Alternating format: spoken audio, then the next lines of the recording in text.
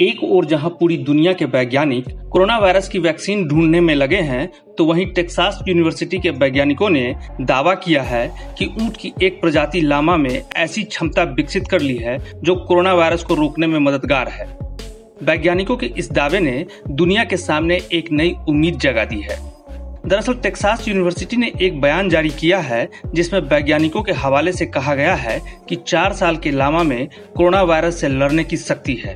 वैज्ञानिकों ने इस लामा को विंटर नाम दिया है। रिसर्चर्स की एक team, National Institute of Health और बेल्जियम की गेंट यूनिवर्सिटी बहुत दिनों से ऐसी एंटीबॉडी की तलाश में थी, जिन्होंने सालों पहले आए सार्स या मर्स जैसे वायरस का मुकाबला किया था।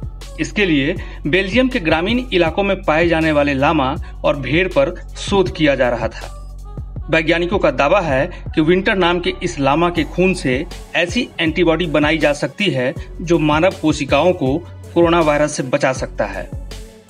बीमार पड़ने पर यह लामा दो अलग अलग प्रकार के एंटीबॉडी का उत्पादन करते हैं। इनमें से एक एंटीबॉडी ठीक वैसी ही होती है जैसी इंसानों के इम्यून सिस्टम से बनती है, जबकि दूसरी एंटीबॉडी बहुत छोटी होती है। ये एंटीबॉडी कोरोना वायरस संक्रमण के प्रभावों को बेअसर कर सकती है। एकेडमिक जर्नल सेल में प्रकाशित एक स्टडी में भी इस बात का दावा किया गया है। हालाँकि, इस स्टडी की अभी सावधानी से समीक्षा की जा रही है। 2020 के अंत तक इसका मानव परीक्षण शुरू करने की भी उम्मीद जताई जा रही है।